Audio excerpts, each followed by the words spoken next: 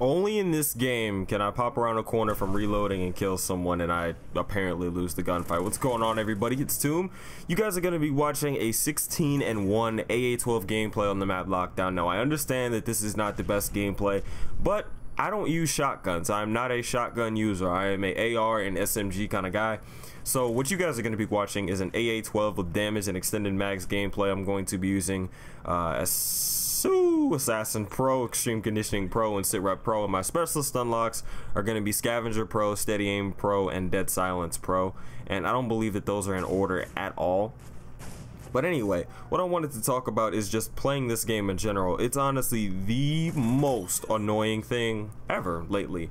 Apparently, during the week I can't play this game because all the Sitrep Pro kids that are, you know, subscribed to everyone on YouTube who has a channel over 100,000 subscribers and gives out bullshit tips and tricks decides to get on and say, Mommy, Mommy, Mommy, Mommy, look, I'm gonna use Recon, I'm gonna use Sitrep. Go fuck yourself in the face, you dumb bitch.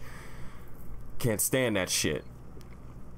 Anyway, I'm usually a very happy-go-lucky person in my commentaries, but not not today. Anyway, you can, I don't like using shotguns because they're very inconsistent, but the AA-12 is an absolute monster.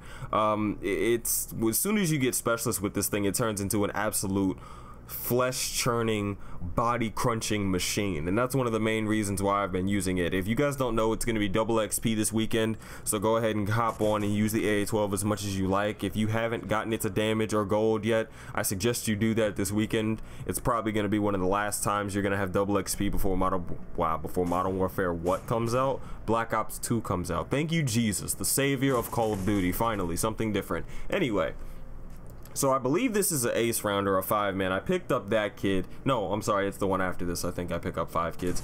These kids are just laying in the back of the map and I decide to shit on them and I shit on that kid with that cancel reload. Sit the fuck down. Actually, you already sitting down. Stand the fuck up, then sit the fuck down.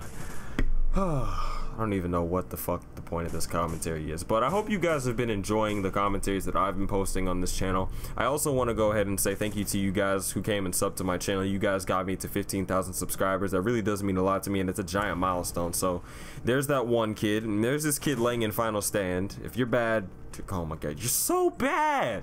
You're so bad. And uh, that was two, and this is the five-man round here. And uh, I don't even know what else to say in this video. I, I, really don't. I feel like Tyler right now. And not definitely I am Tyler. I feel like Dysfunction. He's like, what is up guys? My name is Tyler or Dysfunction. And today I'm going to be bringing you guys... No. No. Just to Tomb. Just no. Anyway, it's different gameplay. Let me know what gun you guys would like to see from me next. I have a UMP45 gameplay. I got a PP90 gameplay. And I also have a P90 gameplay.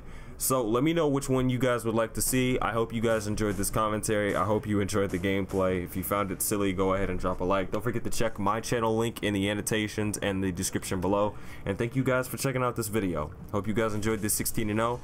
I am Tomb. Um, I'm black, and I'm the only member of the S&D Elite who's black. Peace.